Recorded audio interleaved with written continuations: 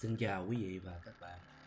Hôm nay video này là lời chào cũng là lời giới thiệu cho dự án 4 tập video tiếp theo về chuyến hành trình tour Đà Lạt Tết Quý Mão 2023 3, 4, 5 vừa qua của mình. Lời đầu tiên mình xin giới thiệu về bản thân. Thì, ờ, Mình tên là Quang Huy hiện đang là giáo viên trung học cơ sở ở thành phố Sài Gòn. Gần một năm trở lại đây thì mình cũng có cái niềm đam mê về xe ô tô cũng như là muốn đi du lịch đây đó mà chúng ta còn hay gọi là từ phượt ấy mình cũng mới chơi xe gần đây được một năm thôi.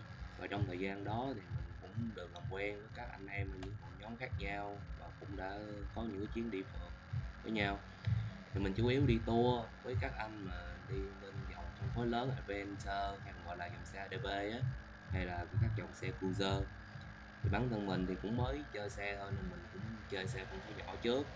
Thì mình hiện đang đi ờ, Honda CB 150R cũng là một dòng neck bay cũng khá là nổi tiếng. Tuy là phân khối nhỏ chứ mà mình cũng chịu khó đi ờ, đây đi đó với nó lắm. Thì sau vài chuyến đi trước đó thì mình cũng thấy hình thức mà đi du lịch phượt này mình cũng rất là thích. Thì ờ, với hình thức này thì chúng ta có thể chủ động được thời gian mình di chuyển cũng như là cơ động hơn. Đến nơi thì mình cũng có phương tiện ờ, riêng để mà đi lại theo ý mình mà không phải phụ thuộc vào những cái phương tiện công cộng mà phải thuê mướn khác như là taxi hay là grab, vân vân. Thì bên cạnh đó, với hình thức này chúng ta cũng có thể vừa tập phản xạ, quan sát và sức khỏe, sức bền.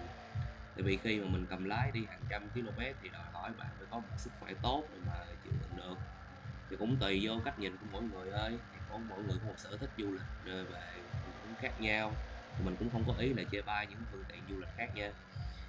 Thì ai theo dõi facebook mình thì chắc cũng biết chắc uh, trong những cái video ờ, tour trước đó thì mình chủ yếu là cắt cảnh và lồng ghép nhạc thôi.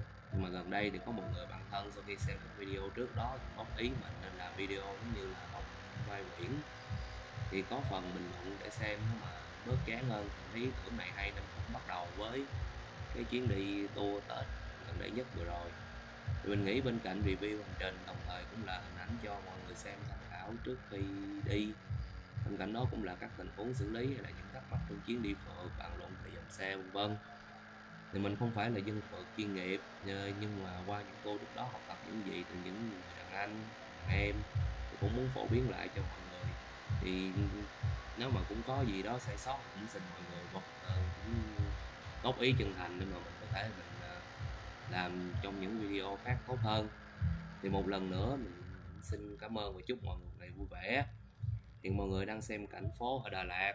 Uh, trong cái uh, lúc mà mình đang di chuyển về homestay cái buổi mà mình vừa mới tới Đà Lạt vào ngày sáng ngày mùng 3 thì phần tiếp theo cũng sẽ là phần tóm tắt trong một vài cảnh trong chuyến đi vừa rồi. Và hẹn gặp lại mọi người ở tập tiếp theo trong chuyến mà mình review về đi uh, Bảo Lộc trên đường đến uh, Đà Lạt chuyến săn mây.